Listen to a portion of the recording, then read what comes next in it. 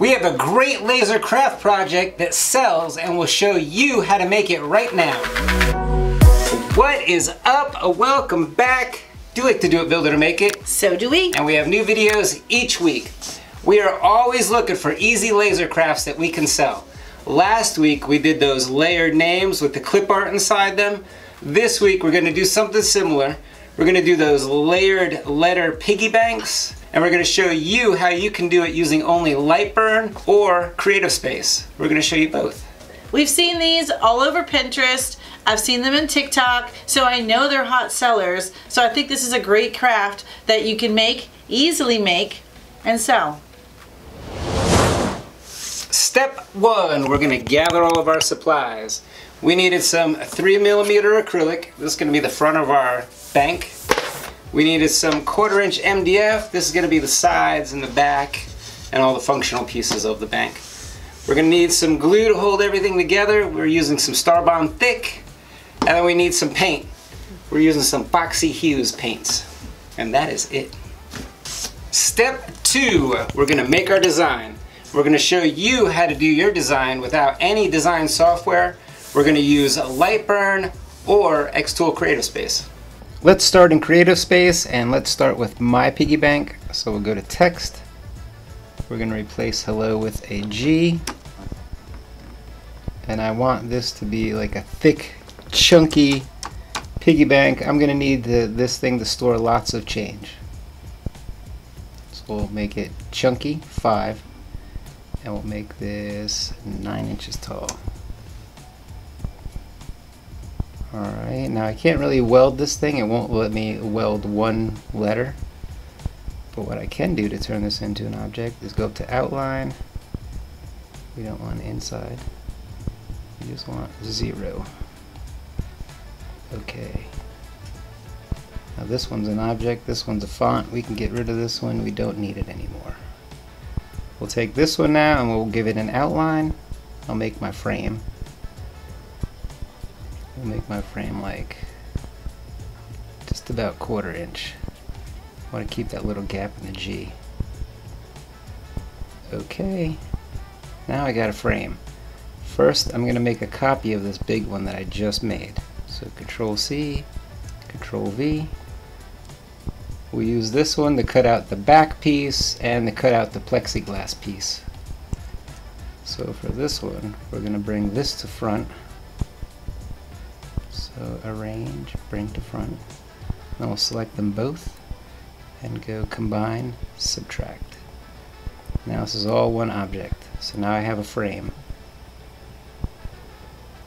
But let's go ahead and make this personalized.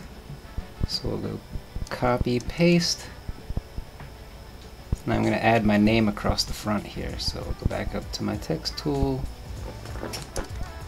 type out Garrett, and then I just want this like a playful little font, something that a kid would enjoy. Or at least be able to read. Nobody can read cursive anymore, so we'll go fun font. And that looks good, but I think we can bring the line spacing in minus 0.3. Alright, most everything touches. Let's go 0.4 and we'll weld it. Drag it out. Alright, looks pretty good. Let's center it. We will align horizontal and vertical. I'm going to copy my name, copy, control C, control V, put this up out of the way. That way I'll make this part 3D, stand out of the frame. This frame I'm going to grab both things and we're going to go to combine, unite. Now I'll be able to place this one on here when everything's cut out. I'm probably going to cut two frames. So I only want one with a coin slot. So we'll insert a rectangle. And make a coin slot in one of them and then I'll just take it out when I go to cut it again. So I'll be able to cut out the backer and then use the same piece for the plexiglass a frame, a frame with a coin slot, the exterior frame, and my name.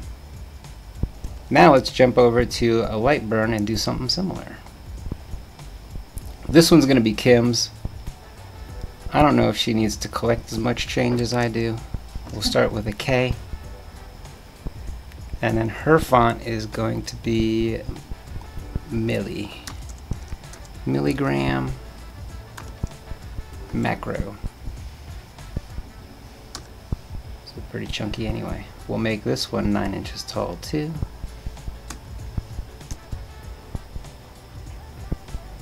and we'll add an outline to hers so we'll go over here to offset oh that's a pretty good offset that's a little more than a little more than quarter inch I like that 0.375 we'll keep it. We'll keep the rounded corners. We only want outward. We'll say okay. Now I'll make a copy of this guy but I'm going to go control D which makes a duplicate right in place and I'm just going to drag this over holding shift. Now this piece is going to be my backer and my plexiglass and this piece will be my frame let's make this like a real frame piece so we'll grab this one and then this one and we'll go over here minus whoops this one then this one minus front. Yeah, there you go. It's all one piece now. And we're going to do the same thing where we're going to have two frames in the middle. So let's zoom out a little bit. Drag him over here, copy paste. Now Kim doesn't want her name in here. She wants some kind of flowers in here. So I have some clip art that we're going to use. There we go. I'm going to right click, trace image, looks great to me. Down here I have delete image after trace, so it's going to delete the PNG I just dragged in and leave me the lines. There's all my lines. We'll make this fit inside here.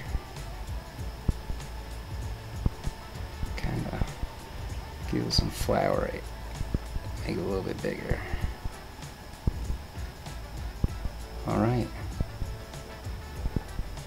Now I need to get rid of and trim all of these flowers that fall outside of the piggy bank. So I'm going to draw a big square around everything. I'm going to grab the K. I'm going to go Control D which will duplicate it and then I'm going to ungroup control U I'm going to grab the square and the biggest part of the K. And we're going to go minus front. Did it work? let's see.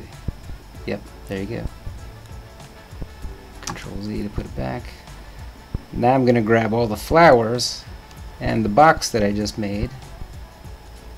And we'll go subtract front. There you go. We'll get rid of this guy. We don't need him. I'm going to grab the frame and the flowers and we will go unite. There we go. Now I got some frames with the flowers. I got the frame piece over here. Oh, let's give it a coin slot. Just draw a rectangle.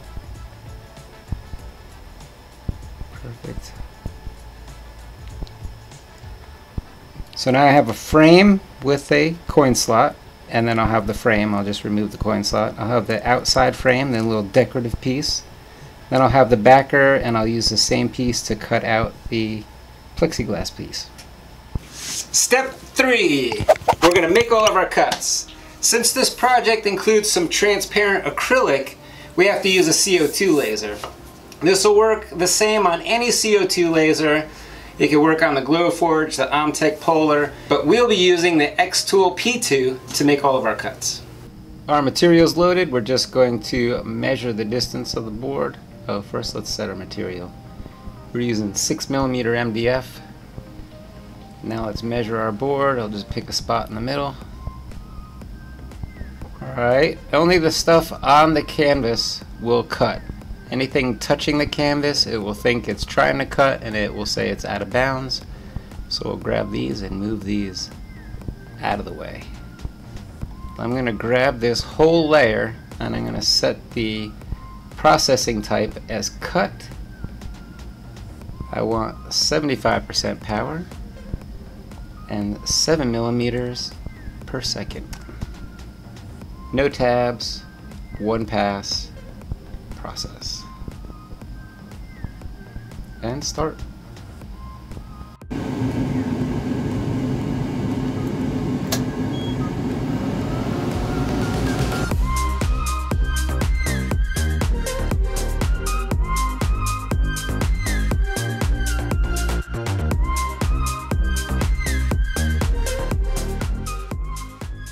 Now let's engrave our acrylic piece. I already loaded the acrylic. And we'll move this piece out of the way. Move the G over here. I'm going to change my material from 6 millimeter MDF to 3 millimeter transparent use. Let's set our focus. And while that's focusing, I'm going to go ahead and change this guy to cut. This says 100% power, 20 millimeters per second. Let's check that against the website. So I select P2 over on the Xtool website. Oh, acrylic, transparent. Six millimeter cut. Oh, this is saying 10 millimeters per second at 100%. Let's lower that. So we'll go 10 millimeters per second, 100% power, no tabs, one pass, process. And start.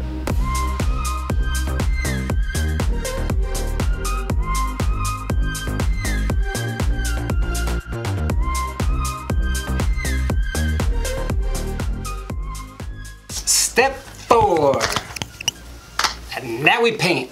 We're just gonna roll our top frame, our backer piece, and then for me, my my word, my name. I'm just gonna roll it with these little foam rollers. All right, we're gonna use our Foxy Hues paints. We're gonna put our paint on our paper plates. And yeah, just roll it, right? So with these, you're gonna roll the backer a solid color, and then really all you have to do is roll your top frame and then your name. Garrett has two colors on his. Yeah, I got these two pieces. Mine's flower, so I'm just gonna paint the whole thing one color. Keep it easy. Keep it easy.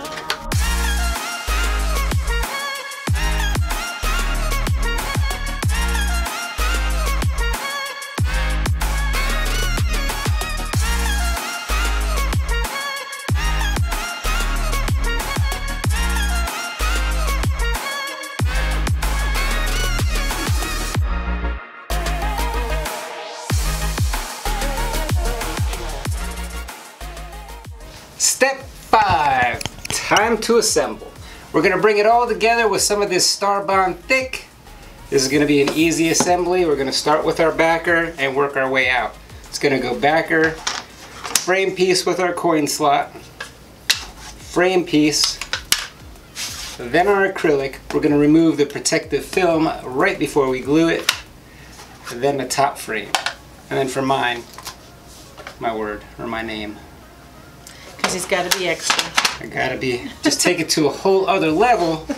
Now our tip with this glue, little goes a long way. This does not have to be waterproof. We're not gonna fill these. These aren't gonna be fish tanks. It's not an aquarium. Right, exactly. You can see- so we just want to make sure that it sticks. So try and use a little bit of glue so it doesn't ooze underneath so you don't see it. Uh, typically this glue dries with a little bit of a white haze to it. However, on our test piece, it's drying pretty clear. Yeah, not but you still don't want it to ooze out from underneath.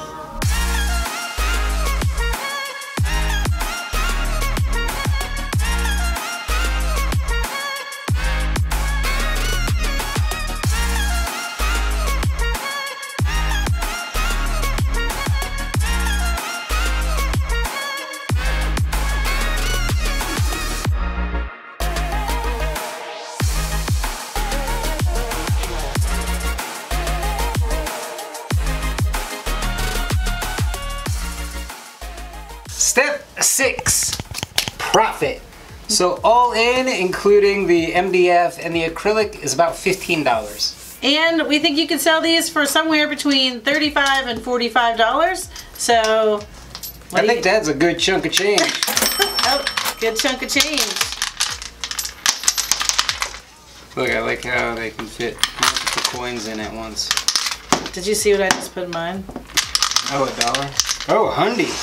Sheesh. I don't know what you're saving for. I want in on whatever I hope I can get it for. back out. We'll be breaking the bank. Step seven, market your product. Now that you got a good product, let's get some good photos, get it on your website, and then you pin it to Pinterest to get it out on Pinterest. I'd also probably do some type of process video just assembling it and showing that you can drop coins and stuff in. And then I think showing that you can get them right back out in the video would help too. These make great gift ideas for kids and teens. Again, this would be great for a teen's room. That's why I tried to paint it these colors. I think this would be good in one of our kids' rooms. And then Garrett painted it with his own name because I'm sure he will put it in his room, his Yeah, man that's right. cave. I'm saving for something.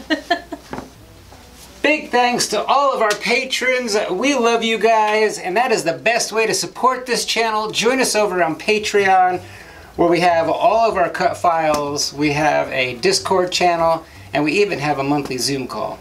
And it's more than just those things. We also have a great community of people. You can get your questions answered, you can get feedback, you can get ideas. There's tons of information out on our Discord channel and our Facebook groups. With that, we are about out of time. I gotta get back to some marketing this thing. you gotta get back to cutting this thing, and we will see you next week where we'll do it, build it, and make it again. I said a lot of things. There's a lot of thing in that one. Ooh, there's a stubby guy. It's a little harder to balance. Yeah, Is it? Yours. Ooh, it's got the money in it.